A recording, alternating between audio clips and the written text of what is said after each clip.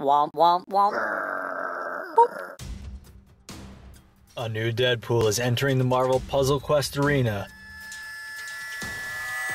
Hey guys, Adam PQ here, and I'm here to tell you about Uncanny X Force Deadpool. He's the new four star variant. He's arriving tomorrow in the new uh, Deadpool vs. Marvel Puzzle Quest event. So stretch your fingers, crack your knuckles.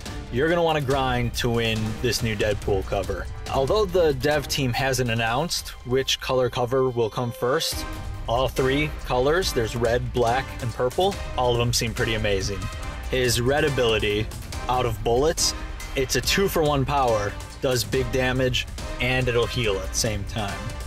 His black ability, X Enforcer, is a passive tile dropper.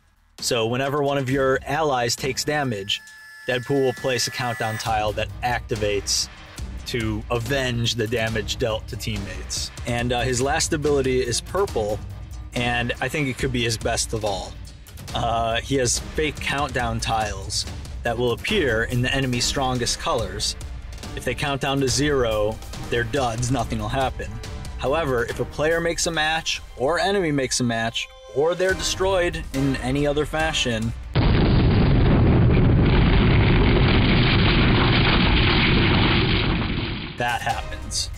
So tell me which ability you are most looking forward to when this new 4-star Deadpool drops. Also, who do you think he's going to combo well with?